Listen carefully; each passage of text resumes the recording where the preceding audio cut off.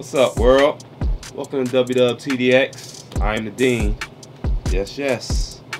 Today's episode, we're gonna solve an issue. I had it too. If you're trying to record and every time you press your pads or your keyboard, it's delayed. That's what's called latency. On this episode, I'm gonna show you the proper settings. So when you're recording, you can minimize that latency or alleviate it altogether. Oh yeah. Make this happen.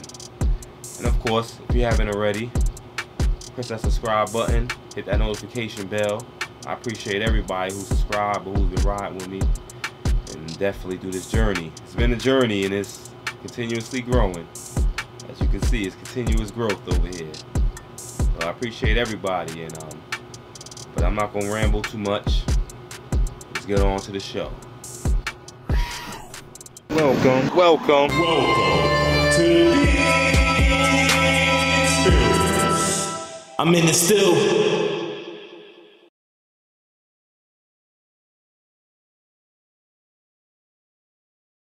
It's the bit rate.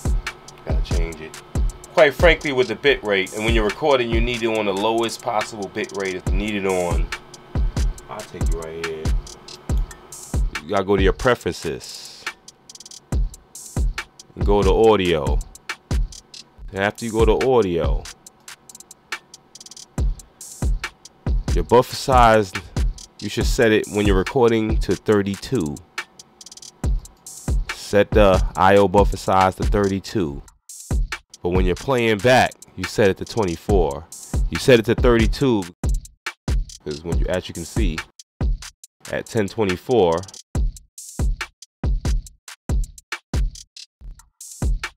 when you set to 32, it becomes 9.2 milliseconds round trip and 2 milliseconds output.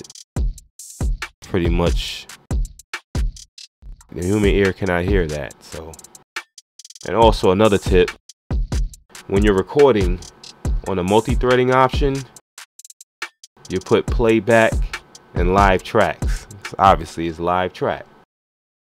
So yes, and that's how you alleviate your latency.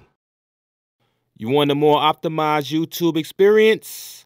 Holla at yo buddy, my buddy, TubeBuddy click that link below.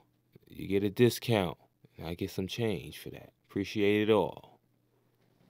For more videos of WTTDX and the stu, click these videos.